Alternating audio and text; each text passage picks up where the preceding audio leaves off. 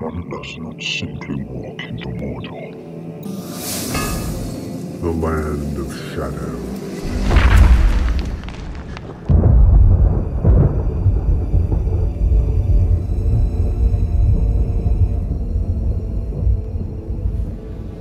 Welcome, everyone.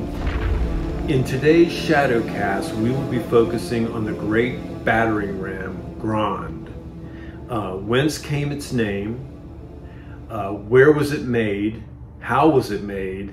And why was it chosen as the best method to attack the gate of Minas Tirith? Uh, in this video, I'll take you along with me as we return to the land of Mordor and explore the forges where Grond was conceived and fashioned.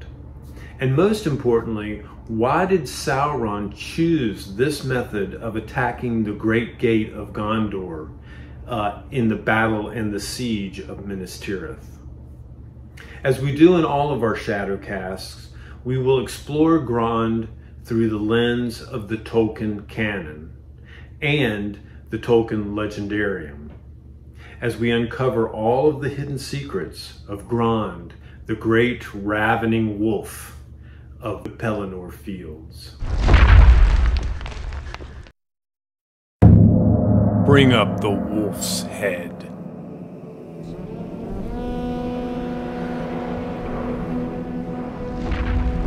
Grond was made for one purpose only to breach the Great Gate during the siege of Minas Tirith. Sauron knew that the gate was the weakest point of the outer wall of the city, which was great in height and thickness, built when the power and craft of Numenor in exile was at its height. It is said that the outward face was like the Tower of Orthanc, hard, smooth, unconquerable by steel or fire, unbreakable except by some convulsion that might rend the very earth on which it stood. The great gate into Minas Tirith was no mere entryway into the citadel of Gondor. It was fashioned of iron and steel, and was flanked on either side by towers and bastions of indomitable stone. However, Sauron knew that the gate into the city was the key to the fall of Gondor. The battering ram, as described in the Red Book of Westmarch, was said to be massive in scale. Here is the passage concerning Grond and the siege of Minas Tirith. The drums rolled louder. Fires leaped up. Great engines crawled across the field, and in the midst was a huge ram, great as a forest tree a hundred feet in length, swinging on mighty chains. Long it had been forging in the dark smithies of Mordor, and its hideous head, founded of black steel, was shaped in the likeness of a ravening wolf. On its spells of ruin lay, Grond they named it, in memory of the hammer of the underworld of old. Great beasts drew it, orcs surrounded it, and behind it walked mountain trolls to wield it. Grond crawled on. Upon its housing no fire would catch and though now and again some great beast that hauled it would go mad and spread stamping ruin among orcs innumerable that guarded it, their bodies were cast aside from its path, and others took their place. Grond crawled on. The drums rolled wildly. Over the hills of the slain, a hideous shape appeared. A horseman, tall, hooded, cloaked in black. Slowly, trampling the fallen, he rode forth, heeding no longer any dart. He halted and held up a long, pale sword.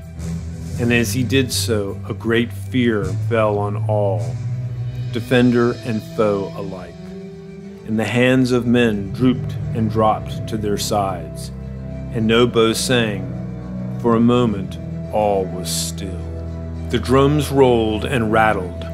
With a vast rush, Grond was hurled forward by huge hands. It reached the gate. It swung. A deep boom echoed and rumbled through the city, like thunder running in the clouds. But the doors and iron posts of steel withstood the stroke. Then the black captain rose in his stirrups and cried aloud in a dreadful voice, speaking in some forgotten tongue words of power and terror to rend both heart and stone. Thrice he cried, thrice the great ram boomed, and suddenly, upon the last stroke, the gate of Gondor broke. As if stricken by some blasting spell, it burst asunder. There was a flash of searing lightning, and the doors tumbled in riven fragments to the ground. In rode the Lord of the Nazgul, a great black shape against the fires beyond. He loomed up, grown to a vast menace of despair. In rode the Lord of the Nazgul, under the archway that no enemy ever yet had passed, and all fled before his face.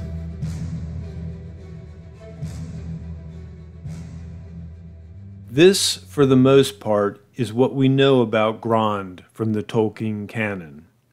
Now let's delve a bit deeper into the Tolkien legendarium. In the years leading up to the Dark Lord's final assault on Middle Earth, plans were made for the siege of Minas Tirith. A key component of the plan to destroy Gondor was breaking the Great Gate into Minas Tirith. Sauron conceived the idea of a massive battering ram designed by the minions of the Dark Lord, which would rival any device of war ever constructed in Middle Earth. It was likely forged in the dark furnaces of Barad-dûr, so that Sauron could keep a close eye on its conception and construction. Grond was forged by black Numenorians of great skill and power, deep within the smithies of the Dark Tower. The hideous head of the beast was made in the likeness of a ravening wolf, in honor of Sauron, who often took this form in ages past. It was forged of black steel, and its mouth was filled with fire. They etched upon its metal hide Morgul spells of ruin, terror, and breaking. Some among the defenders of the city of Minas Tirith who watched Grond roll across the battlefield believed it was made of more than just iron and steel, that within its metal carcass lurked a terrible beast bred in the black pits of Barad-dûr, that could breathe fire like a dragon and roar like a demon of the ancient world. Some say these were merely superstitions, born of fear but as Grond was destroyed in the ruin of battle, none now can say for sure. Many have asked why Sauron would choose this method to attack the great gate of Minas Tirith, rather than using the fire of Orthanc used at Helm's Deep. There are two things to consider here. First, it is not clear that Sauron was aware of this new sorcery it is possible that Saruman kept his secret discovery in abeyance as a possible defense against an assault from Mordor. Secondly, such a weapon would not have been to Sauron's liking. The Dark Lord preferred to undo his enemies through fear and despair, which were always his greatest weapons. Grond, marching slowly across the Pelennor to the gate of Minas Tirith, would fill the enemy with a terror that would overwhelm them long before the first blows shook the city. To further inflame fear in the world of men, Sauron named it Grond, in homage of the first Dark Lord's greatest weapon. Grond, the hammer of the underworld, was the mighty mace wielded by Morgoth when he fought Fingolfin, king of the Noldor, before the doors of Angband. It is written that each time Morgoth struck the ground with his mighty mace, it shook the land like a bolt of thunder, creating pits from which smoke and fire erupted. However, Fingolfin evaded these fell strokes inflicted by Morgoth until he grew weary and was finally crushed under his own shield.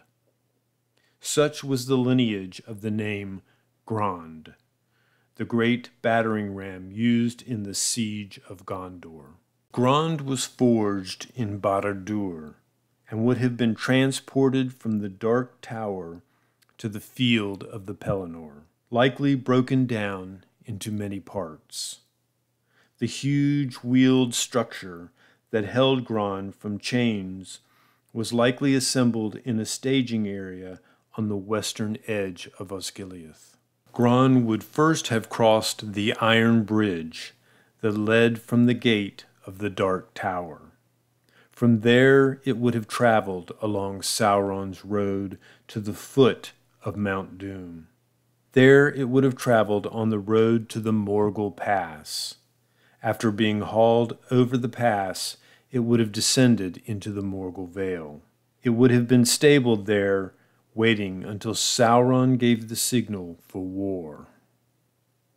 Grond would have then been carried by the armies of Morgul through the ruins of Osgiliath, crossing the river Anduin, and then on to the fields of the Pelennor. Grond was then assembled and made ready for battle until it was called for by the Lord of the Nazgul who ordered the siege of Minas Tirith. Grond hung from a massive frame of wood and iron on thick black chains. This siege machine was surrounded by a legion of large black Uruks of Barad-dûr. Behind walked a band of Olog-hai, the mountain trolls from the Vale of Udun, and it was drawn forward by a phalanx of siege beasts shipped north from the jungles of Far Harad. As it neared the walls of the city, the entire orc army surrounding the gate chanted the name Grond, Grond, Grond. Then all fell silent across the battlefield. The Lord of the Nazgul, wielding his pale sword, commanded the operations of the battering ram. The great gate was broken, and so with it was the spirit of the city. In this moment, the city of Minas Tirith was ripe for the taking. However, the tide of battle was about to turn. No one knows for certain what happened to Grond after the fall of the Witch King.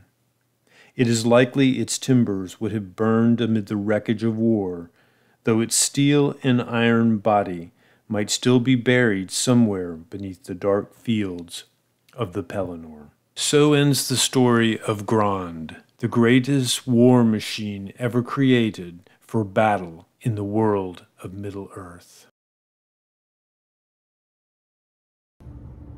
So, I hope you guys enjoyed this exploration into the dark mysteries of Grond, the great ravening wolf head on the fields of the Pelennor. As usual, I hope you guys will continue to join me on my journey through the land of shadow.